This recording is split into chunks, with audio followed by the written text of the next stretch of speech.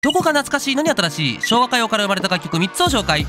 ピンズピーどうも簡単です。ヒップホップというと様々な音楽にルーツを持っているサンプリングの音楽。そこで今回は昭和歌謡をサンプリングして作られた楽曲3つを紹介します。1つ目に DJ TATSUKI featuring IO MonyHorse で TOKYO KIDS。こちらは昭和の歌姫美空ひばりさんの名曲東京キッドをサンプリングして作られました。実際に TOKYO KIDS のリミックスバージョンのミュージックビデオのラストシーンには美空ひばりさんの息子でありひばりプロダクションの社長も務められているマネーの虎でおなじみ加藤和也さんも出演されています。続いて PUNPEE さんの楽曲お嫁においで2015この楽曲は加山雄三さんの名曲お嫁においでをサンプリングして作られています。加山雄三 featuring PUNPEE って字面やばいですよね。ちなみにこちらのミュージックビデオにも最後に若大将本人が出演されています。そして最後に沖縄のラッパーリープさんの楽曲男はつらいよ。こちらの楽曲は映画男はつらいよの主題歌男はつらいよをサンプリングして作られています。令和の時代でも愛されているトラさんさすがです。他にも皆さんが知っている昭和歌謡をサンプリングしている楽曲があったらコメントへ。それではまた。